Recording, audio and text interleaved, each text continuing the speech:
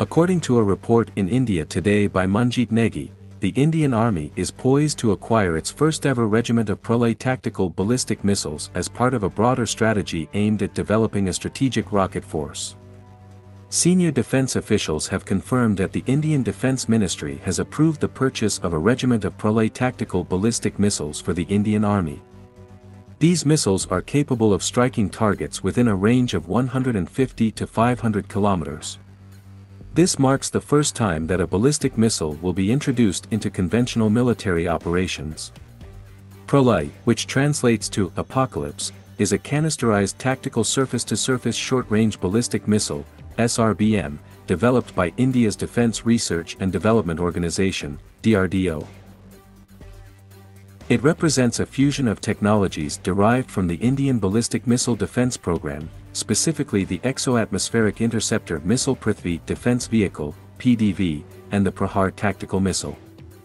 The project to develop Pralay was sanctioned in March 2015 with a budget of 332.88 Indian rupees crore, equivalent to 63 million US dollars in 2023. The Research Center Imarat RCI, is the lead integrator for this project. Comparable foreign missiles in the same category include the Dongfeng 12, CSS X-15, Precision Strike Missile, 9K-720 Iskander, and the Hyunmoo 2 missile. Powered by a solid fuel rocket motor, the Pralay missile follows a quasi-ballistic trajectory and possesses the ability to perform mid-air maneuvers using a maneuverable re-entry vehicle, MARV, to evade anti-ballistic missile, ABM, interceptors. Pralay employs the same composite propellant developed by the High Energy Materials Research Laboratory, HEMRL, for the Sagarika missile from the K-missile family. This composite propellant is highly efficient and generates more energy compared to the propellant used in the Agni missile series.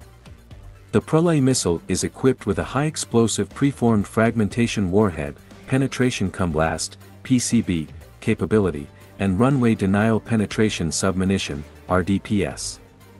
It has a range of 150 km to 500 km and is designed to target radar and communication installations, command and control centers, as well as advanced airfields using conventional warheads. The system is road mobile and fulfills the tactical ballistic missile requirements of the Indian Army. Importantly, Pralay bridges the gap for a conventionally armed ballistic missile that is not restricted by the no first use nuclear policy. Efforts are currently underway to further extend the missile's range by several hundred kilometers.